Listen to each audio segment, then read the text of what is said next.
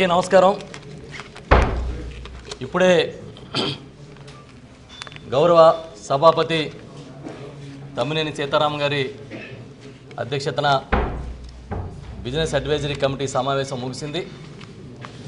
గౌరవ ముఖ్యమంత్రి శ్రీ వైఎస్ జగన్మోహన్ రెడ్డి గారు అదేవిధంగా ప్రతిపక్షం నుంచి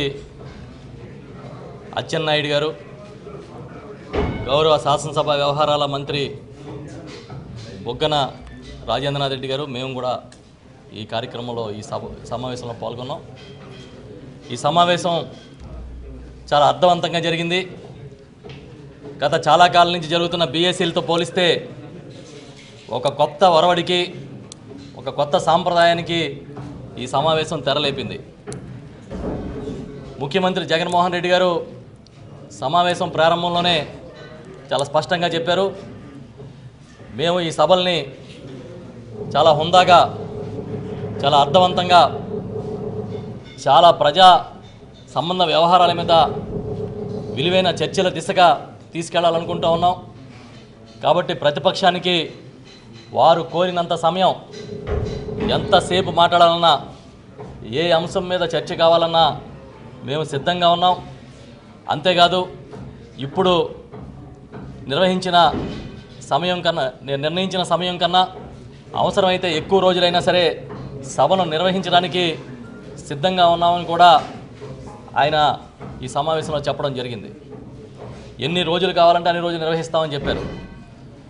మీరు ఇప్పుడు చెబుతారా? లేకపోతే ప్రతిపక్షం రేపు సభ ప్రారంభం సమయానికి మీరు మాకు తెలియజేసినా పర్వాలేదు. ఎన్ని రోజులైనా సరే ఈ సభని అర్థవంతంగా నిర్వహించడానికి అర్థవంతమైన చర్చల దిశగా తీసుకెళ్ళడానికి ప్రభుత్వం పూర్తిగా కట్టుబడి ఉంది కనుక మేమందరం కూడా సహకరిస్తాం. మీరు ముందుకు రండి అని చెప్పి ప్రతిపక్షానికి పిలిపివ్వడం అనేది నాకు తెలిసి చరిత్రలో మొదటిసారి.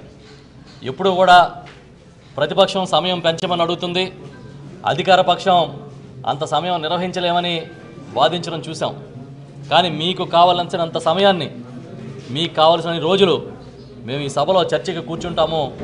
సమావేశాలకి సిద్ధంగా ఉన్నామని చెప్పడం అనేది ఖచ్చితంగా ఒక కొత్త వరవడికి కొత్త సాంప్రదాయానికి సీఎం జగన్మోహన్ రెడ్డి గారు తెరలేపినట్టుగా మేమందరం కూడా భావిస్తూ ఉన్నాం.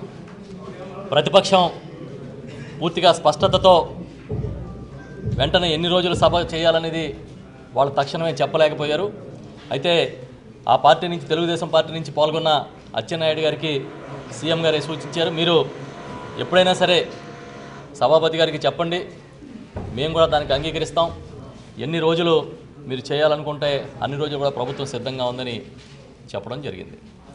గతంలో మాదిరిగా మైకులు కట్ చేయడం సమయం ఇవ్వకపోవడం లేకపోతే అగౌరవపరిచే విధంగా మాట్లాడడం చేయం. ఎవరైనా సరే ప్రతిపక్ష నాయకుడు కానీ ఆ పార్టీ సభ్యులు కానీ సంపూర్ణంగా ప్రజా సమస్యల మీద చర్చకి ఈ వేదికని వాడుకోండి అని చెప్పి ఆయనే పిలుపునివ్వడం అనేది కూడా ఒక కొత్త వరవడికి శ్రీకారం అని చెప్పి మేము భావిస్తూ ఉన్నాం. ఇంకా రేపటి నుంచి ఏ ఏ అంశాల మీద చర్చించాలి?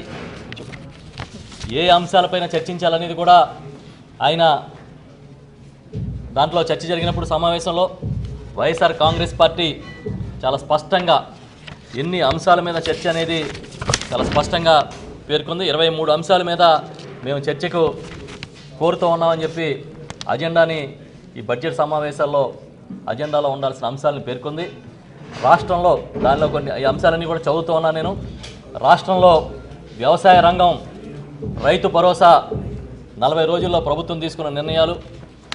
అదేవిధంగా ఈ రాష్ట్రంలో విద్యారంగం పాఠశాలలు కళాశాలల పరిస్థితి అమ్మఒడి పథకం అధిక ఫీజుల నియంత్రణ పాఠశాలల మౌలిక సదుపాయాల మెరుగుపరచడం పారదర్శకమైన పరిపాలన అందించడం అవినీతి నిర్మూలన ప్రభుత్వ నామినేటెడ్ పదవులు పనుల్లో బడుగు బలహీన వర్గాలకి మైనార్టీలకి యాభై శాతం రిజర్వేషన్ కల్పించడం వైద్య ఆరోగ్య రంగం స్థితిగతులు Aarogyasri one nought eight one nought four నిర్వహణపైన చర్చ నీటిపారుదల రంగం పోలవరం ఇతర ప్రాజెక్టులపైన చర్చ గృహ నిర్మాణం ఇరవై ఐదు లక్షల ఇళ్ళ స్థలాలకి పట్టాలు ఇవ్వడం రాష్ట్ర ఆర్థిక పరిస్థితులు గత ఐదేళ్ళలో అప్పులు కానీ బకాయిలు కానీ వాస్తవిక పరిస్థితులు ఏమిటి అనేది మాట్లాడుకోవడం ప్రత్యేక హోదా విభజన హామీలు కేంద్ర బడ్జెట్లో రాష్ట్రానికి రాని నిధులు విద్యుత్ రంగం వాస్తవాలు. అదే కాకుండా రాజధాని అంశం సిఆర్డీఏ పరిధిలో ఉన్న భూ కేటాయింపులు పొదుపు సంఘాల రుణాలు బెల్ట్ షాపులు కొత్త ఎక్సైజ్ పాలసీ గ్రివెన్సెస్ స్పందన కార్యక్రమం ఇసుక అక్రమ రవాణా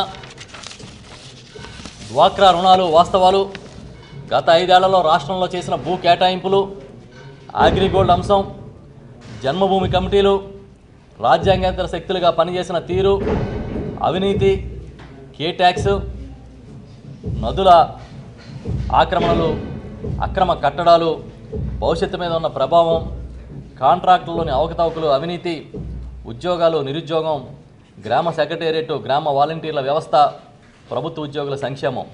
ఈ పైన పేర్కొన్న ఈ అంశాలన్నీ కూడా ప్రజా ప్రాముఖ్యత కలిగిన అంశాలు కనుక ఈ అంశాలన్నిటిపైన కులంకషంగా చర్చించేంత వరకు ఈ శాసనసభ సమావేశాలు నిర్వహించాలని వైఎస్ఆర్ కాంగ్రెస్ పార్టీ శాసనసభా పక్షం తరఫున కోరుతున్నామని చెప్పి అన్ని అంశాల మీద కూడా సభాపతి గారికి లేఖ ఇవ్వడం జరిగింది.